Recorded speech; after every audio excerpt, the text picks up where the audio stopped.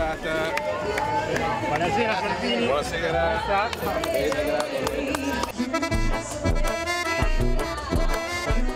Il menù della festa della Lega a Cervia prevede tagliatelle al ragù di mora e la chiusura con Matteo Salvini. Già un'ora che sono qui sedute. Sì. Salvini a vita, non cambio come fanno tanti. Io sono una fede, credo in Salvini e continuerò a farlo fin tanto che sono al mondo.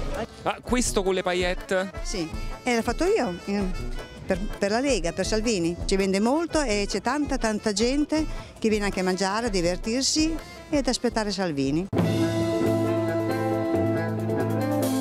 Primo tema, chi sarà il candidato del centrodestra in Liguria? In mattinata a Roma Salvini ha visto Toti.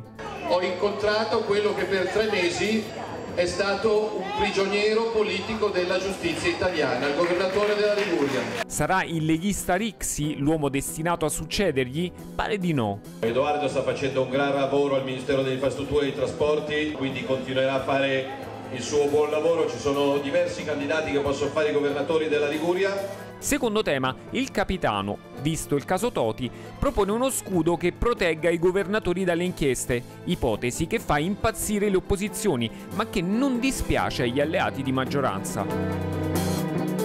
E a proposito di alleati, terzo tema, Forza Italia continua a non amare l'autonomia differenziata, mentre arriva anche il ricorso della Regione Puglia alla consulta. Non bastassero le firme per il referendum abrogativo, tutti contro la riforma Calderoli. Dopo 30 anni di battaglie della Lega, quest'anno l'autonomia è legge dello Stato. Possono raccogliere tutte le firme del mondo, però autonomia significa sprecare di meno. Chi ha paura dell'autonomia?